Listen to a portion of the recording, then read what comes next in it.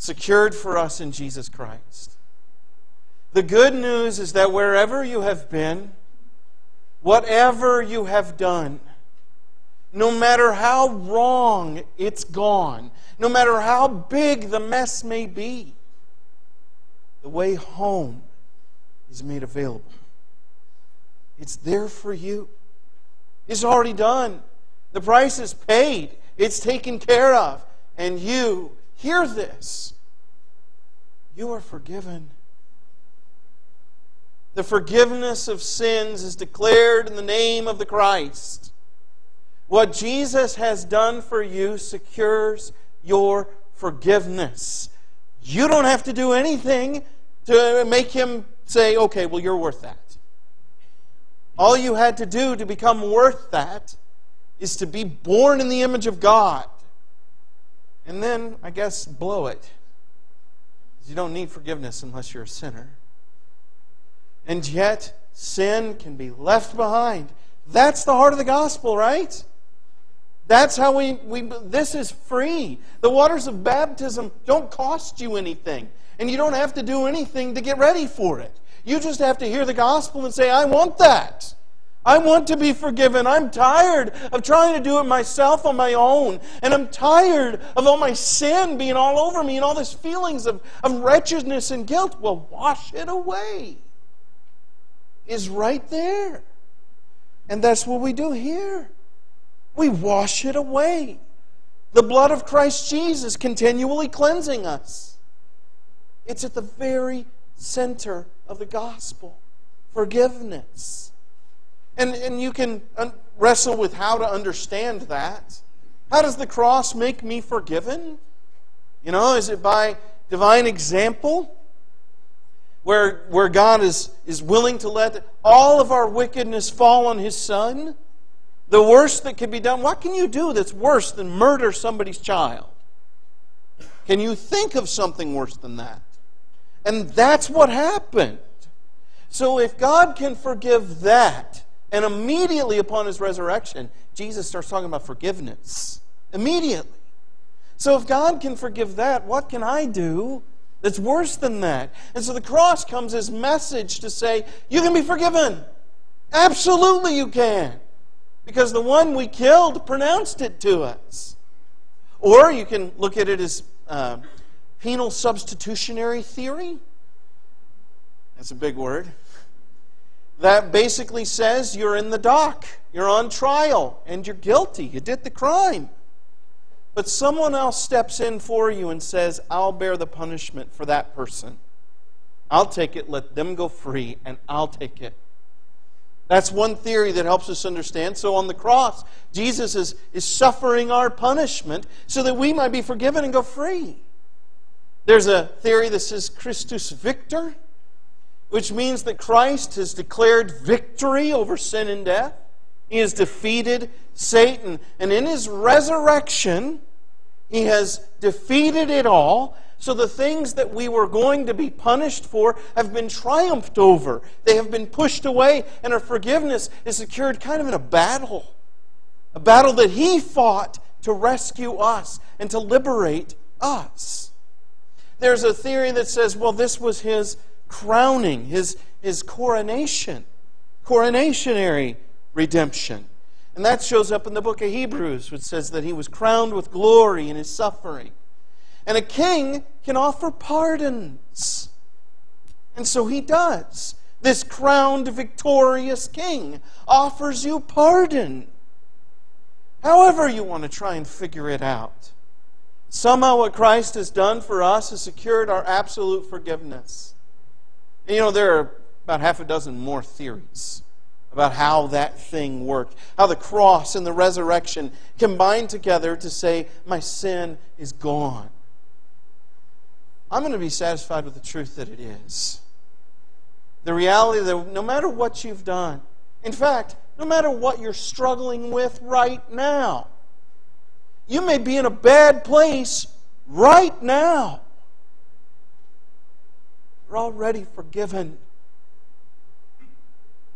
The prodigal, when he lifted up his eyes, was already forgiven by the dad. He just wanted him to come home. That's, that's where you are. By the way, if you're in a bad place, don't take forgiveness as an excuse to stay there. Get up, come home. But, and certainly don't let your guiltiness, your shame, prevent you from receiving the good news of God. You are forgiven.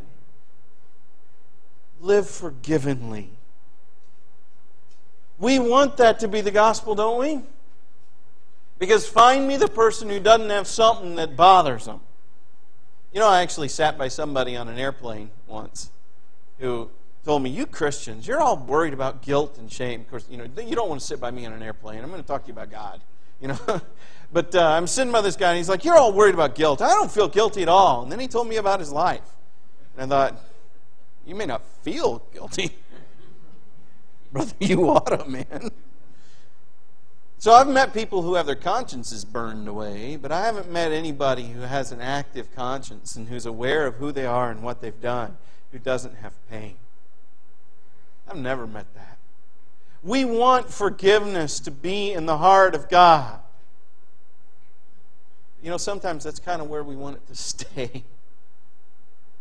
That the forgiveness be there. I don't know that I want it here. I might be willing to forgive if the person who wronged me comes and grovels sufficiently. I may be willing to forgive if I have the assurance that the bad thing is never going to happen again.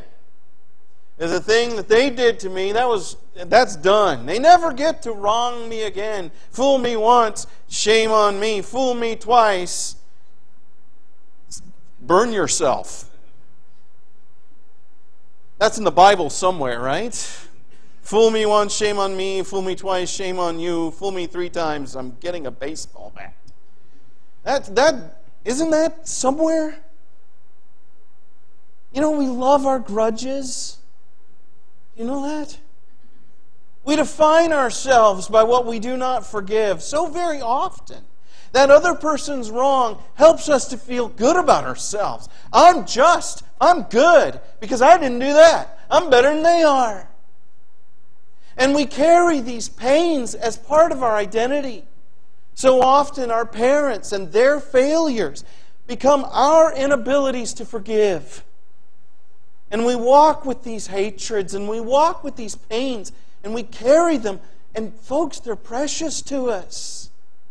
I know they're precious to us because the moment you say to somebody, you know, your life would be better if you would put, them that, put that down. The moment you say that, what you'll see here is, how dare you? How dare you ask me to? Don't you realize what a big deal this is? Don't you realize how badly I've been hurt? Don't you know that my personhood has been undone and I can't be put together? Don't you know that part of the reason you can't is that you won't set it now? You know, I would never tell you to forgive that. You fill in the blank. Whatever it is that's bothering you, whatever pain or shame you've got, I would never tell you to forgive it. I wouldn't. I've run into people who, uh, who have been raped, and I would never tell them to forgive their rapist. I've met people who have been divorced, who carry the bitterness of their, their ex spouse's behaviors and all the ways that they wronged them. And I would never tell them, you should forgive that. I wouldn't. I've met people who have had loved ones murdered. And I would never say, you should forgive that. I wouldn't, because I don't want to be a hypocrite. Because, folks, somebody says something mean about me, and I'm stew on it for a week. Forgiveness is hard. It is so very hard. Because when you forgive, what you have to do is you have to say to the one who has wronged you, I will bear all of the pain for what you have done, and I will charge none of it to you. I won't hold any of this against you. I won't define you by the evil you have done, but I will look for God in you because somewhere it's in there. I would never tell anybody to do that. But God does. It is one of God's hardest commands. Forgive. Whatever it is, forgive it. Open the fists of your heart and let it go. Release it. Turn it loose. Set the prisoner free. And I tell you what, Jesus is not kidding around when he says this. He's not joking. In fact, Jesus will attach to forgiveness your salvation. What do you mean? There's, there's nothing I can, can do to save myself. I can't save myself. Congratulations, you're a good Christian. You've got great theology. Well done. Except I'm going to believe the Lord. Maybe you can't do anything to save yourself, but there are things you can hang on to that cost you stuff. It may even cost you eternity. But certainly they begin costing you stuff right here, right now. Jesus in the Sermon on the Mount says, For if you forgive men their debts, your heavenly Father will also forgive your debts. But if you will not forgive men their debts, neither will your heavenly Father forgive you yours. You know, I don't know about you, but I don't really like the picture of God that that paints, at least not on the surface. It makes God almost seem kind of petty, doesn't it?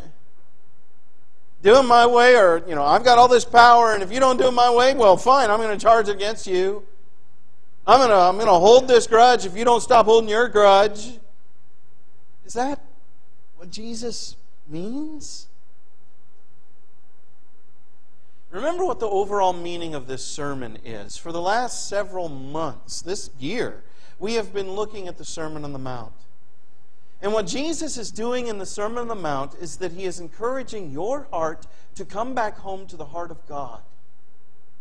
He is telling you what the law was given for in the first place. Why did God give a law? Why did He set a set of rules in front of us, a set of demands, commandments? Why did He give us those? He gave us those because our hearts are so very estranged from His. We are so different from Him. He loves with ease. He forgives with ease. He welcomes his enemies to his own table. He invites the sinner into holiness. He is different from us. Would we do any of that? Which of us would love those who murdered our kids? He is so different. So he gives this law to say, behave like this. But of course, the purpose of the law was to give it to us so that we might meditate on it and say, what kind of a heart would be like that? What kind of person would live naturally this way? And of course, the Pharisees, they messed it all up and they made it about behaviors and not hearts. Keep these rules. Don't lust. Or rather, don't commit adultery. Now, you lust all you want to, just don't act on it. Don't kill anybody. Get as mad as you want to, but don't kill anybody. And love your neighbor and hate your enemy. That's the way it's supposed to work. The commandments love your neighbor. But your enemy's not your neighbor, is he? All these things that have nothing to do with the nature of the heart we're supposed to have. And so Jesus comes and says, No, no, no, no, no, no. What kind of heart would be like this? What kind of heart would give you this commandment in the first place? Get beneath the commandment and have the heart that not only has, have the heart that you could say, don't commit adultery, and you'd go, well, duh. Yeah, I don't even lust. I, I have the relationship I've got, and, and that's enough. That's more than enough because I'm committed in love to that person. Don't murder. Well, duh. Of course, I won't murder because that's the image of God. It may be the misbehaving image of God, but it's still the image of God, and we're not going to kill it. Don't lie. Yeah, I know. You know, you don't have to be told once you have the heart of God. Remember where we started this sermon. It is at the heart of the gospel. Forgiveness is. Because that is the heart of God. God is a forgiving God. I mean, if you insist on clinging to your sinfulness and you say, No, I don't want to be forgiven, I want to prove myself, well, maybe He'll let you do that, but it won't work out well for you. But it is in the nature of our God to say, Cut it out. Come to me. Let me heal you. Let me help you. I am a forgiving God. Well, if that's the heart of our God, what should your heart be like? If you know that God can forgive anyone of anything, you know that's true. You celebrate it over and over again. Then what should the disciple of Jesus be like? What should the heart of the Christian be like? It should be a heart prepared to forgive. Jesus teaches over and over and over again about forgiveness. You know the story about the, the guy who owes so much money, I mean, it dwarfs our national debt, which is saying something. And the king just forgives him, right? And what does he do? He goes out and he finds someone who owes him about $30,000, which is not nothing. Jesus never trivializes the cost of forgiveness. It'll cost you something to forgive. About $30,000 is what that guy owed. 200 denarii? About $30,000. And he grabs him by the throat and chokes him. Give back what you owe me. And the king ends up throwing that guy into prison, and he says, That's what the Lord will do to each of you if you don't forgive your, from your heart. Why? Why would he do that? Because he doesn't have the heart of the king. He doesn't have the heart of the king. And people who don't have the heart of the king, it's not that God can't forgive. It's that they aren't fit for heaven. They wouldn't enjoy it there. They wouldn't fit in. And, and Peter, Peter comes to Jesus one time and says, Now, Lord, how many times do I need to forgive my brother? Seven times? And Jesus, Peter's been very impressive because what he's done is he's grabbed what the Pharisees say, which is three. Three major sins you got to forgive. After that, no. He's doubled it and he's added one. You know, he's really impressive. Not to the Lord, though. The Lord says, no, 70 times. Seven. Raised to a power, you know, not raised to a power of 10, uh, multiplied by 10, and then multiplied by itself 490 times. Incidentally, if you have a notebook that you're carrying around and you, it has hash marks in it, you've missed the point. Because the point is raised to a power of 10. You're supposed to lose count. You're just supposed to practice forgiveness and practice it over and over and over and over again. Jesus will say if someone comes to you over and over and over again in the same day, they sin against you, they come back and they say, I'm sorry, you're supposed to forgive them immediately. Over and over the same day. You're like, are, are you not learning anything? How can you keep sinning against me? And God's looking at you and saying, Are you not learning anything? Because the practice of forgiveness trains your heart to become different. Can you imagine being a person incapable of holding grudges? Where grudges became slippery in your hands. You just had to put them down. Who couldn't remember wrongs. Who could, who could just dismiss the worst things. How much easier would it be for you to love people if it just came naturally to you to forgive people? When Jesus says, forgive or you won't be forgiven, I don't think it's because God's a God who keep, holds grudges. I think Jesus is telling us the toxicity of our refusal to forgive and what it does to our hearts. When we carry a grudge, we become less like God. And each time we reflect upon that grudge, we are more like Satan, who is locked in hate, who is trapped there. You don't want to be trapped there. So, whatever it is you hold on to, you need to let it go. And this is so toxic that I think God looks at us and says, if you don't become a person who forgives, then you are alien to my nature. And the whole point of everything that I've done since it all went wrong in the garden is to woo people back, to come and participate in the nature of the Trinity. Honestly, do you think Jesus holds a grudge against his dad?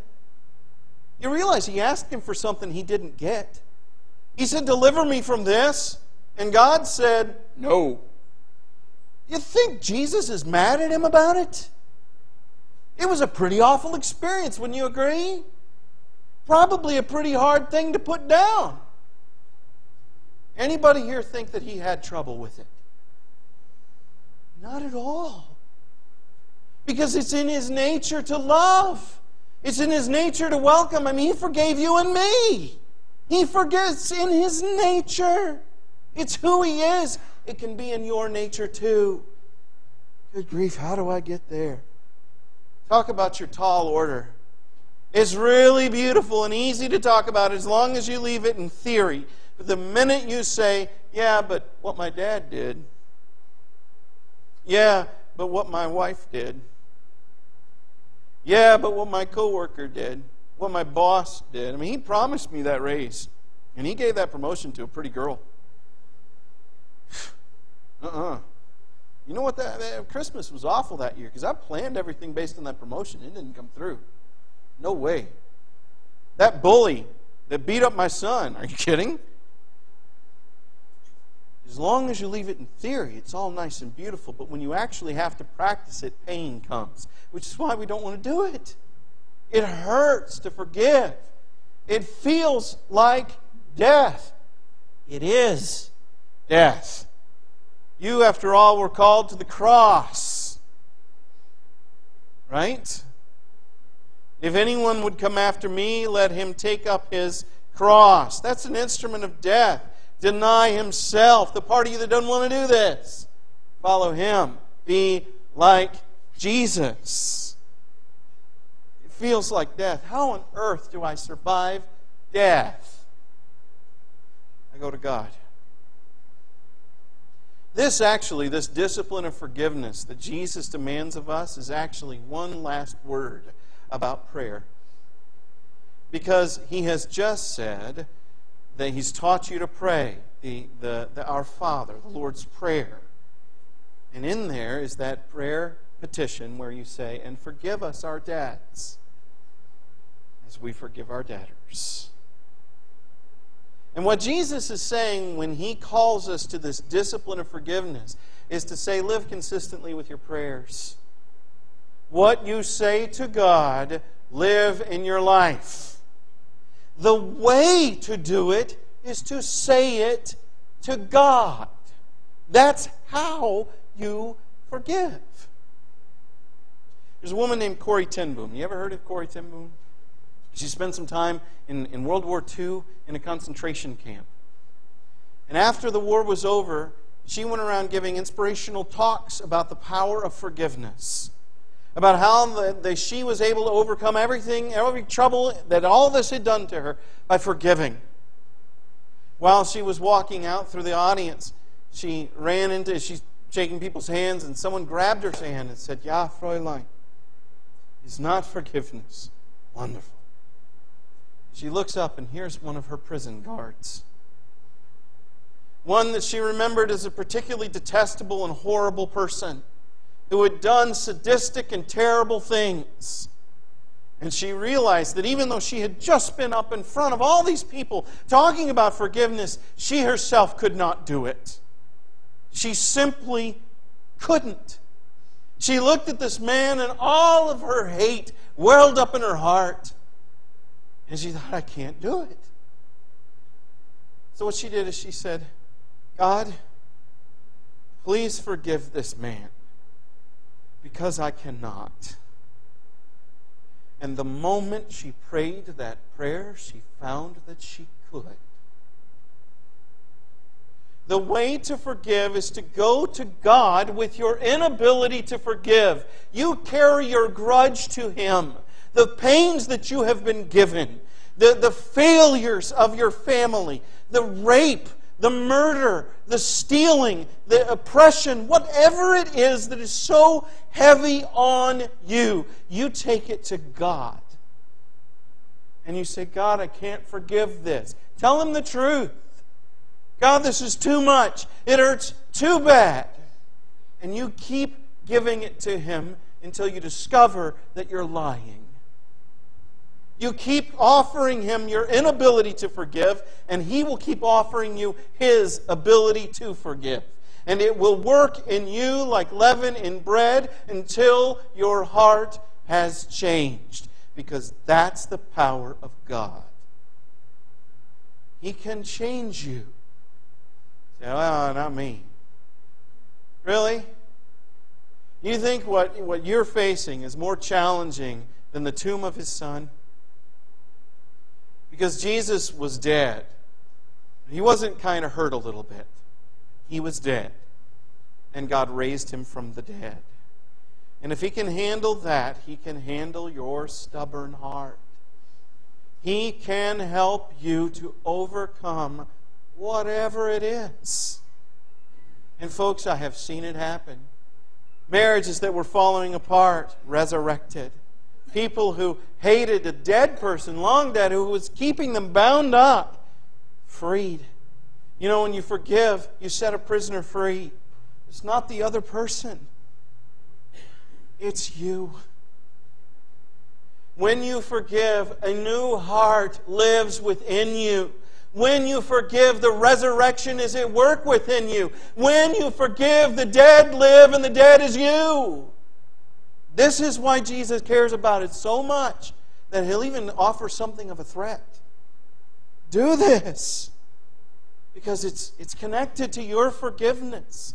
Participate in your forgiveness by being a person who forgives others. Participate in the truth of the gospel. The reality of the forgiving God needs to be born in you, that you become His forgiving image, that you show other people what God is like, not just with your words, but with your behavior and with your heart and with everything that you are. And when they see your good works, they will give glory to your Father who is in heaven, especially those who have wronged you when they see you loving them anyway, they will see the glory of God at alive within you. One last word and I'm done. Sometimes the hardest person to forgive is not outside of your skin.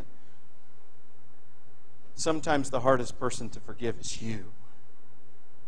You see that when you're trying so hard to make it better. You're going to fix it all.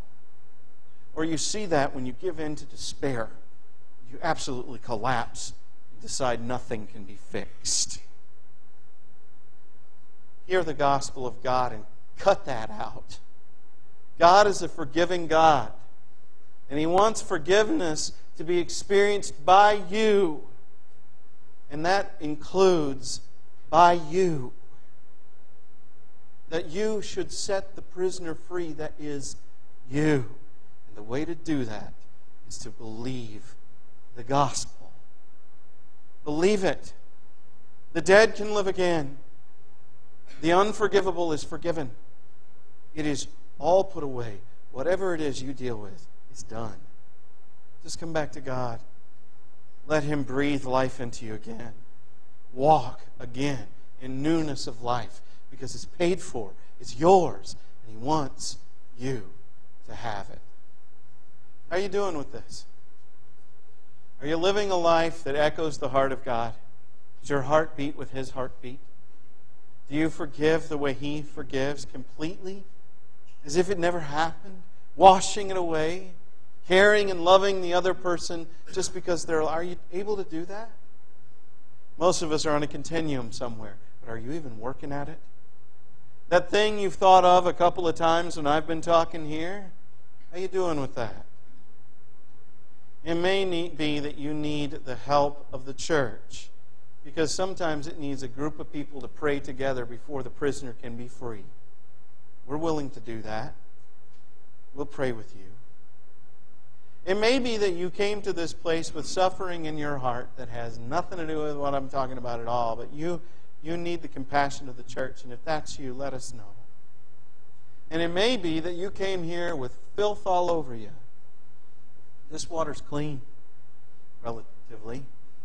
But what it represents is absolutely clean because it is the death of Christ, and you can enter into the death of Christ in baptism and be washed clean. Not just your body getting the dirt off of it, but your soul getting the dirt off of it. You can be clean. Are you? If today you need the prayer, the compassion of the church, you want baptism, we'll wait on lunch. If this morning you're subject to the invitation of God, why don't you come right now while we stand and sing?